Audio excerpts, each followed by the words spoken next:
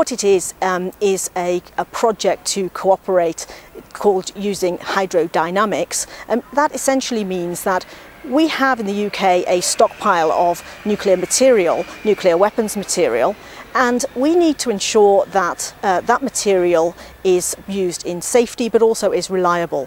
So the UK-French cooperation is aimed at um, testing that material uh, to see what happens to it uh, under certain circumstances. But I want to make really clear that it is not the type of nuclear test that people talk about in the Comprehensive Test Ban Treaty. Uh, what I'm talking about is what's called subcritical tests, which do not result in a nuclear explosion, but it is to uh, test the, uh, the materials we have.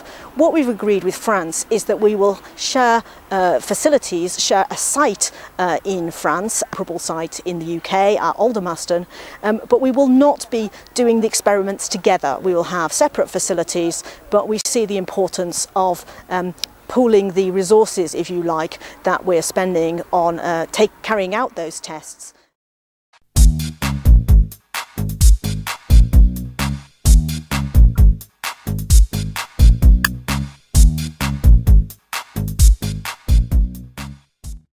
One of the places of development in the UK is Aldermaston, where they're building a technology development centre.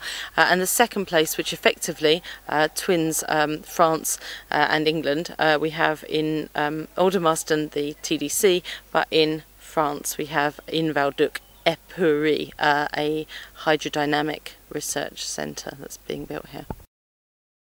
So as well as for safeguarding, we're concerned it could also be used for uh, making the next generation of nuclear weapons. This 50-year treaty creates a real problem for us under Article 6 of the Non-Proliferation Treaty.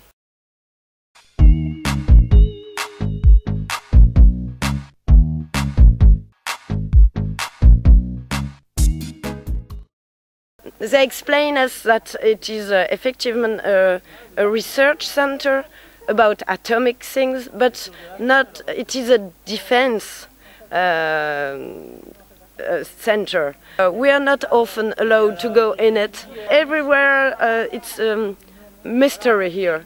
In the forest, it's not easy to find it, and you're not allowed to stop it. And maybe sometimes. Um, uh, we say, oh, we don't go because we we're not able to film and so and so, and they they like that. Everybody is frightened about uh, because it's uh, it's closed, and maybe it's um, it's not a good thing. If if they want uh, the people to trust in them, so they have to open more often the door uh, we can understand that it is um, uh, secret because they are working things also, but they are not really good um, with communication.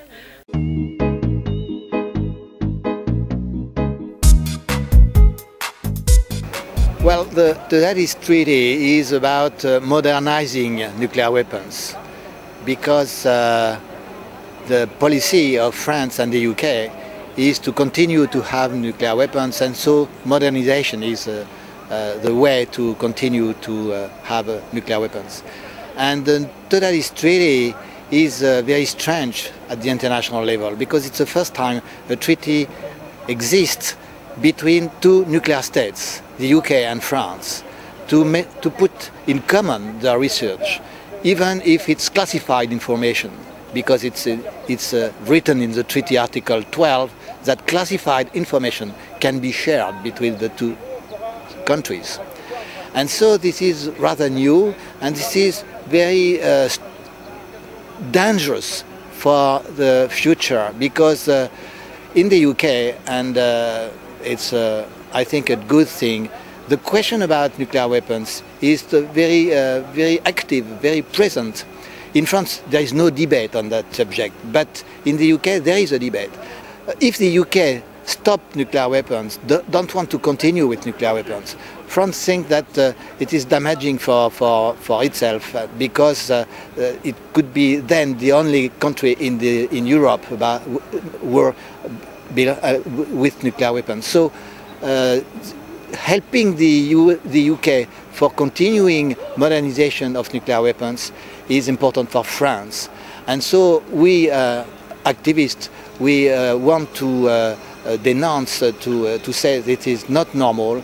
France and the UK have to abandon their nuclear weapons and so stop modernization.